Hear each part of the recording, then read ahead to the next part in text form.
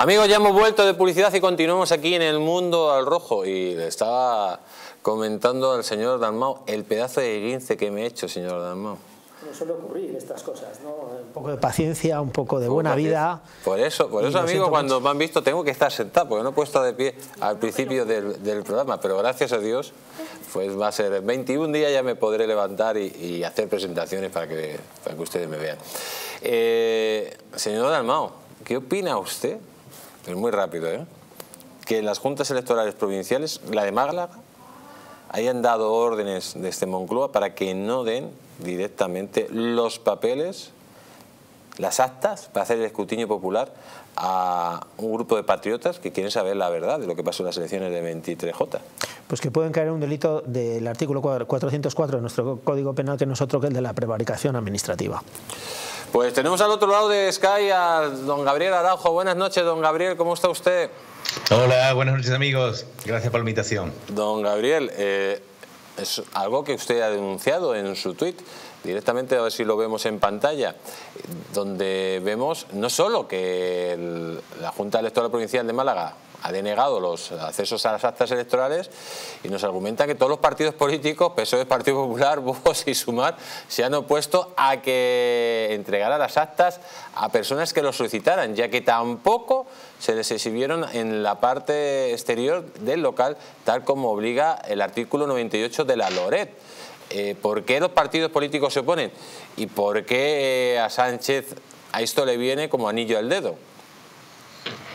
Bueno, la verdad es que no lo sabemos, Jesús, y nos gustaría saberlo, porque esto precisamente ocurrió la noche del 28 de julio en, durante el escrutinio del voto cera en el Palacio de Justicia de Málaga, que un grupo de ciudadanos, este año sí que realmente hemos logrado que la ciudadanía se implique en este proceso electoral y efectivamente quisieron, eh, han presenciado allí el, acto del escrutinio y ante la omisión del deber de colocar la subsiguiente acta en las afueras del local, que eso lo establece el artículo 98 de la Ley Orgánica del Régimen Electoral General, pues lo que hicieron los ciudadanos, oiga, si usted no, ustedes no van a colgar las actas fuera, pues den una copia. Y ahí, pues todos los apoderados, fundamentalmente de todos los partidos, hicieron piña y ahí, en esa resolución, la secretaria de la Junta Electoral Provincial de Málaga, lamentablemente, afirma que todos los partidos políticos se negaron a que la ciudadanía pudiera tener Ahí tenemos ahora mismo la resolución, precisamente, de la Junta Electoral de provincial de Málaga. Dice, los, directamente está relatando, lo tenemos en, amarillo, eh, lo que usted decía, que todos los partidos pues se negaron a esto. Esto, lógicamente, va a tener consecuencias jurídicas, ¿no, señor?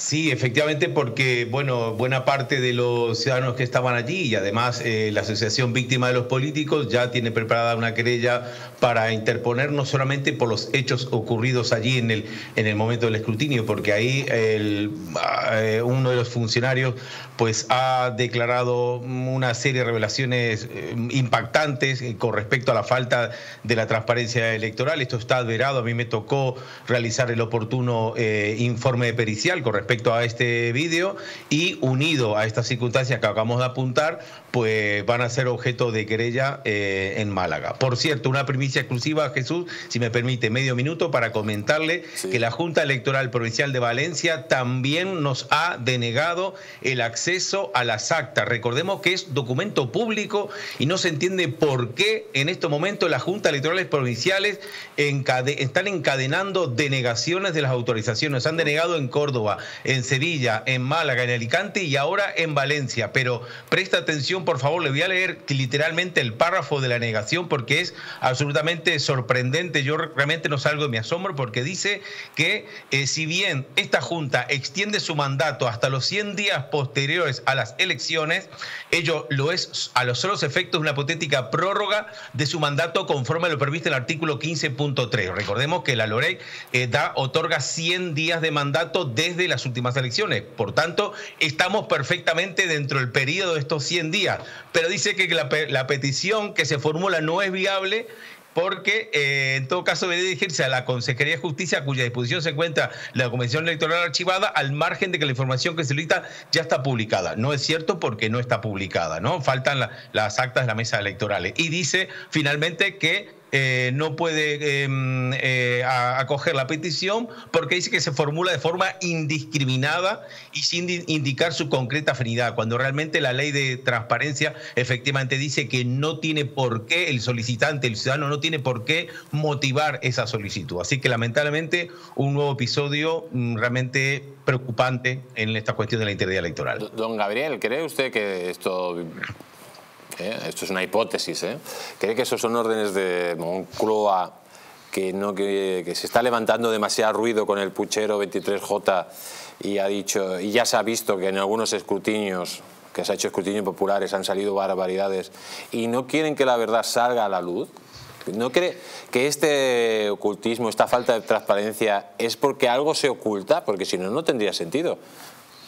La verdad es que no tiene sentido. Es cierto que todos estamos recibiendo presiones, llamadas desde muy arriba. Nuestra asociación de peritos me la, ha confirmado hace un par de días eh, nuestro presidente, el presidente que ha recibido llamadas de las más altas instancias. Yo también he recibido llamadas de, altos cargos políticos. Y en fin, lo único que podemos decir nosotros es que queremos ayudar a las instituciones a investigar y a, y a, echar por tierra cualquier sombra de, de duda. Simplemente es que en este caso las autoridades y, la, clase política y, las la autoridad, la administración electoral, lamentablemente nos está perjudicando en esa, labor que queremos hacer de, conseguir esa transparencia electoral y por lo menos afirmar que ese proceso electoral es seguro, con tanto se repite como un mantra. Bueno, vamos a probar que realmente sea así, ¿no? Don Gabriel, tenemos aquí a a nuestra querida concejal del Ayuntamiento de Madrid, Arancha Cabello, eh, y también al señor Dalmao, que le quieren hacer una pregunta a usted. Doña Arancha, adelante. Pero eh, mira su cámara, doña Arancha. hola, Gabriel, que bueno, es que no es amigo mío. y además hemos estado en, el, escrutinio general de Madrid y entonces conocemos bien el procedimiento. Eh, ¿Tú crees, eh, Gabriel, que puede obedecer más que a un hecho de intentar controlaros a ese desprecio que tienen en muchos casos los funcionarios y las administraciones con, aquellos funcionarios que se quieren acercar simplemente de una forma natural a, exigir que se cumpla la ley. Eh, ¿Podría ser esta la circunstancia? Pues sinceramente, buenas Arancha, buenas noches y, un placer verte allí en, Distrito TV. Además, tengo que decir que, Arancha sí que es una, es una política muy comprometida con la transparencia electoral. Nos ha facilitado a la ciudadanía en todo momento el acceso a toda la, a toda la información electoral. Así que Arancha en este caso es una excepción. Por eso está en el mundo rojo, por eso está en el mundo rojo. Completamente, nos ha ayudado muchísimo y, y de manera transparente porque es una información pública en cuanto a las motivaciones para ocultar esta información, no lo sabemos, sinceramente, me extraña muchísimo. Hay una mezcla como de desidia al mismo tiempo de, pereza a la hora de trabajar. Por ejemplo, en, Córdoba, en Sevilla, nos han dicho que realmente eh, eh, en grandes rasgos, a grandes rasgos, a ellos les iba, a significar mucho trabajo el ponernos esas cajas a disposición. Es realmente muy grave esta situación porque lo dice el Parlamento Europeo en una resolución del 1 de junio de este año que este, en los procesos electorales debe implicarse necesariamente la ciudadanía y en todas las fases de todo el proceso electoral estos procedimientos deben ser auditados y supervisados por la sociedad civil. El eh, señor Dalma, muy rápido, que vamos a otra cosa. Bueno, no solamente lo dice lo que representa el Parlamento Europeo, que allí está en Bruselas el Parlamento Europeo, sino que lo dice la, la LOREG, que en este momento representa el cuerpo juris en que, que, hay que utilizar en este momento, porque aboga por la transparencia pública real y fehaciente yo le quería hacer la siguiente pregunta que para mí es muy importante. ¿Estarían ustedes dispuestos a interponer eh, una denuncia versus querella en relación a nuestro, como bien he dicho antes, nuestro artículo 404 por una prevaricación administrativa referente a todas aquellas eh, eh, autoridades públicas que no están en este momento abogando por esa transparencia pública fehaciente y real?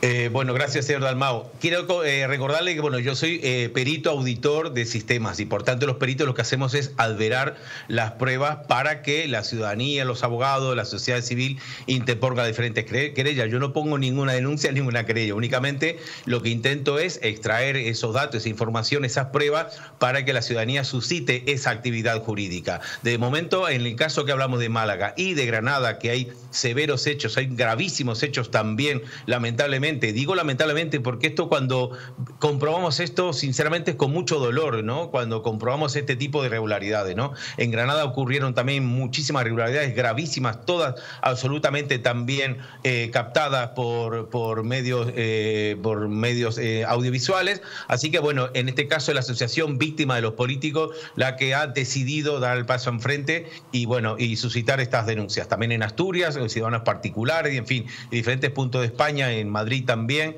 pues diferentes ciudadanos también han interpuesto la correspondiente denuncia. Pues vamos a continuar, vamos a continuar porque, señor Araujo, entre el ataque terrorista que ha habido en Bruselas, eh, donde han muerto dos, dos, suecos, entre las declaraciones de nuestro gobierno de España, eh, pues directamente blanqueando a Hamas y atacando a Israel, pues nos encontramos con un problema que ha tenido el presidente del gobierno, que ha sido esa famosa eh, Pegasus, y sobre todo eh, señor Araujo, eh, ha empezado directamente pues eh, que el juez del caso Pegasus ha citado a la exdirectora del CNI como investigada. Vamos a ver el siguiente vídeo y a continuación hablamos.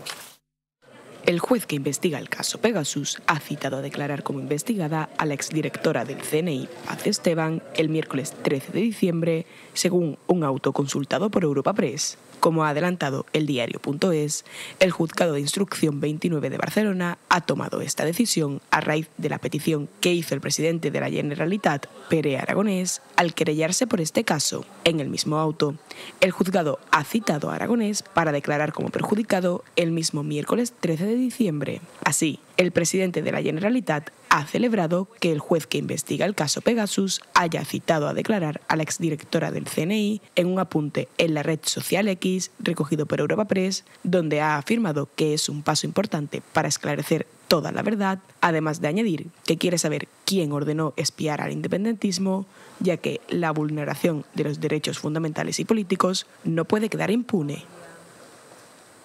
Pues, eh, don Gabriel, cuéntenos usted que es un experto, exactamente qué es esto de Pegasus, porque al final la gente nos ha enterado, nos hemos enterado que, a Sánchez le robaron cuatro tegas el gobierno de Marruecos, pero esto está afectando a muchísima más gente de la que creemos, ¿no? Sí, muchísima más gente. De hecho, eh, bueno, yo particularmente vengo denunciando desde, desde el 2021 este, eh, este software eh, Pegasus, que realmente está afectando a los españoles del año 2015.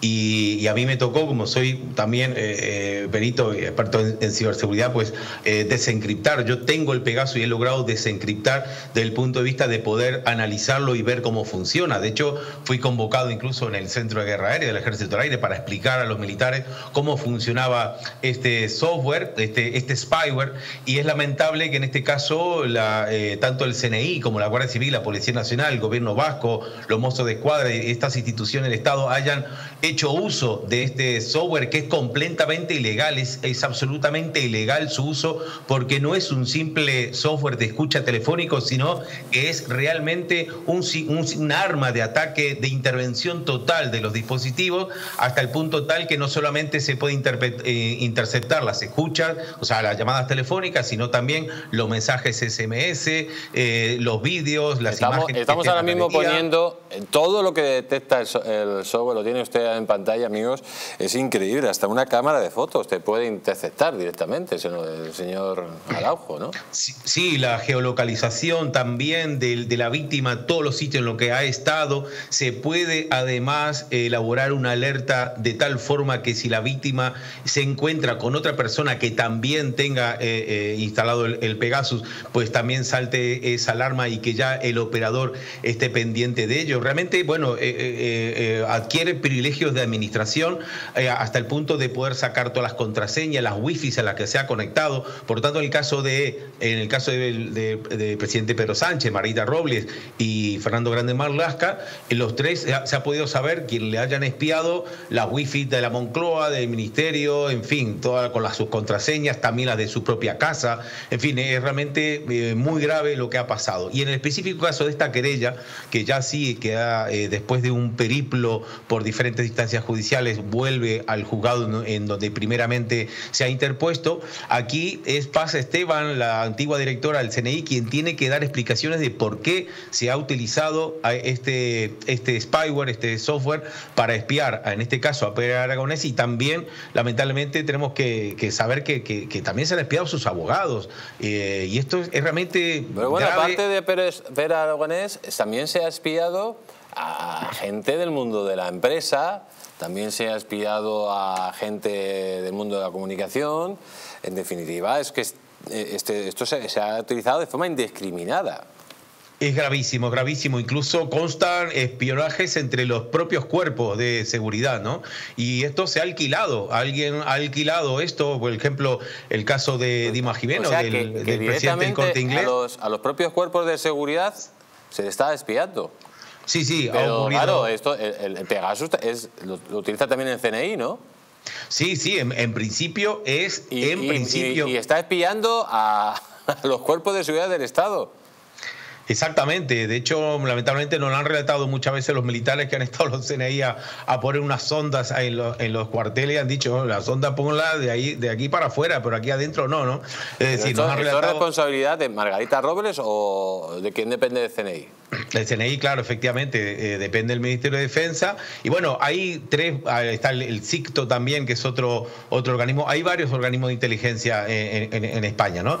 Pero bueno, el problema es, Jesús, que aquí parecería que Pegasus fue como un objeto en rebajas que lo ha adquirido todo Kiski y se ha utilizado para cosas que no están contempladas. Pero de, hecho, incluso ante, aunque fuera un caso de terrorismo, narcotráfico, tampoco se puede utilizar el Pegasus para, para una intervención de una parte de la institución, porque es completamente legal. Eso excede en mucho el contenido de la ley de enjuiciamiento criminal, que en su artículo 597, quiero recordar, únicamente delimita aquellos casos en los que se puede eh, acudir a una intervención telefónica o de los medios telemáticos pero en absoluto es utilizar un arma como es esta, que es una injerencia absoluta no solamente de la víctima, sino también de todo su entorno familiar y profesional. Eh, señor Dalmao, lógicamente esto es una barbaridad. Eh, bueno, em, eh, sí, eh, sí, en principio, porque no cuenta con ninguna. Yo iba a hablar de la ley de enjuiciamiento criminal, creo que sí, que es el 597, pero es que tiene previa autorización de judicial, o sea, repito, previa autorización judicial.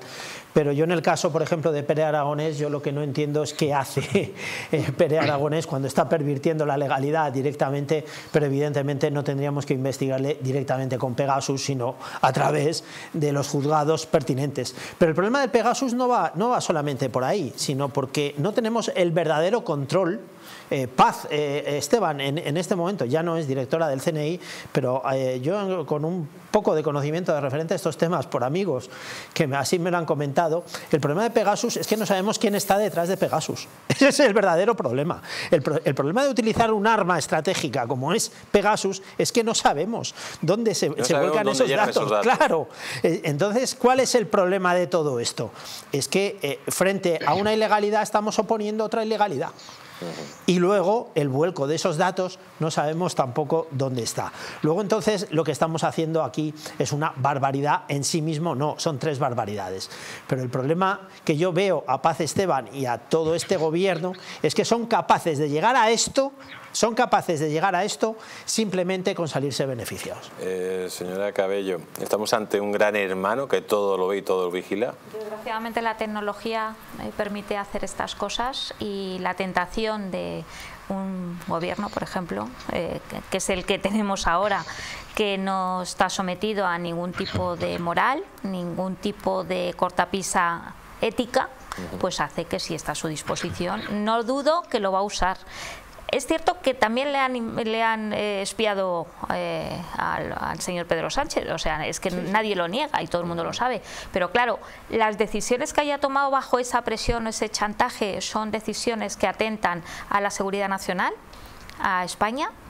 Pera Aragonés utiliza lo que han hecho siempre los delincuentes y los terroristas es utilizar el marco jurídico en su propio beneficio. A mí, mm, yo, mm, tú no me puedes mirar nada, pero yo podría mirarlo todo, porque tengo entendido que también ellos han estado intentando por lo menos acceder a ello, porque todos juegan a lo mismo, a espiarse, a sacar partido y luego los españoles a pagar impuestos, a pagar las multas, a no salirse ni una coma de la declaración de la renta, mientras que todos los demás están jugando una partida donde las fichas somos nosotros.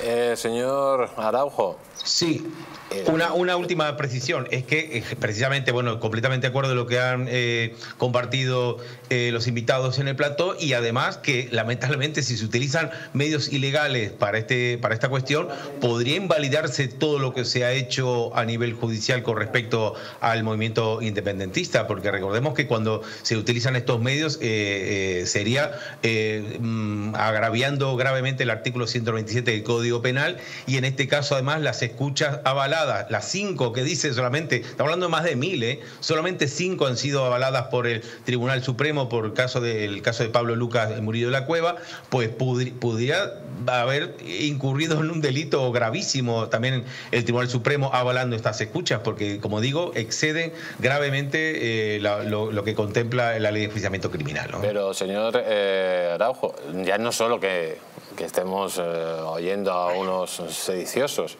es que nos están oyendo a todos. Y lo que usted está diciendo, están oyendo a todos los españoles, están vulnerando todos nuestros derechos, pero ojo que es que ni el CNI ni siquiera controla los datos finales de Pegasus. ¿Quién es la mano que mece la cuna de, de Pegasus? ¿Quién es el hermano mayor o el gran hermano que está teniendo todos esos datos y controla a todos los españoles de una forma infame.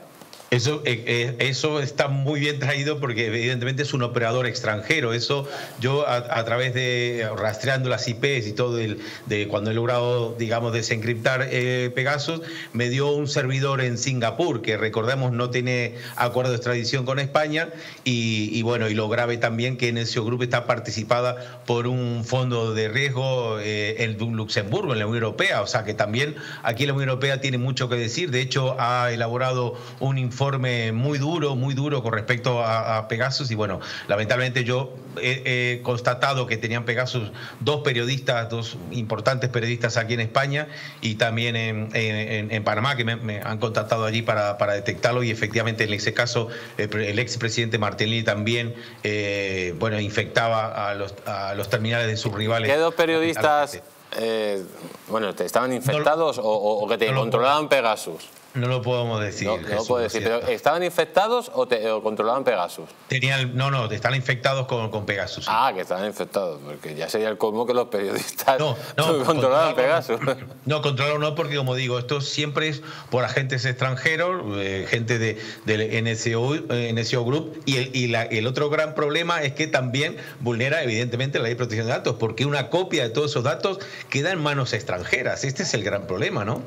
Bueno, pero es que la ley de protección de datos eh, sabemos que solo se le aplica al pobre empresario que comete un error, al que directamente utiliza esto para hacer chantaje, sabotaje, etcétera, no se le aplica, ¿no?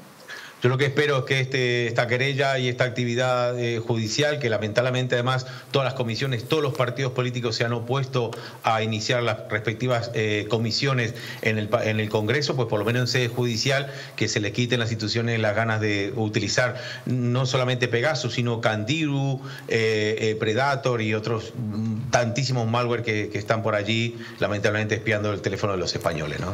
Pues don Gabriel Araujo, muchísimas gracias por haber estado aquí en el Mundo Rojo como siempre, un gran abrazo. Igualmente, buenas noches, hasta pronto. Señor Dalmao, muchísimas gracias por haber estado aquí en el Mundo al Rojo y como siempre un placer tenerle aquí. A vosotros, por supuesto. Y señora Cabello, muchísimas gracias por haber estado con nosotros y, nada, a seguir luchando pues nada, por la justicia, como decían los, pues los cinco fantásticos. ¿no? nos vamos a rendir, así que seguiremos luchando y muchas gracias por, por la invitación. un placer. Y amigos, a todos ustedes, primero perdonar, eh, sobre todo al principio del programa, a los que nos han visto por YouTube, que hemos tenido unos ligeros problemas técnicos que luego ya hemos ido solucionando, y decirles que mañana vamos a volver con más, con más, porque es que esto se pone muy caliente. ¿Qué pasará con Pedro Sánchez? ¿Va a afectarle esto de Israel en su investidura, Puigdemont ya le ha dicho que investidura o independencia, o elecciones e independencia. Se pone todo muy caliente, amigos. No se lo pierdan. Mañana venimos con más noticias y desde aquí mandamos el pésame a esas dos personas asesinadas en Bruselas por estos criminales. Sean ustedes buenos, que Dios bendiga y que Dios bendiga a la madre patria. Hasta mañana.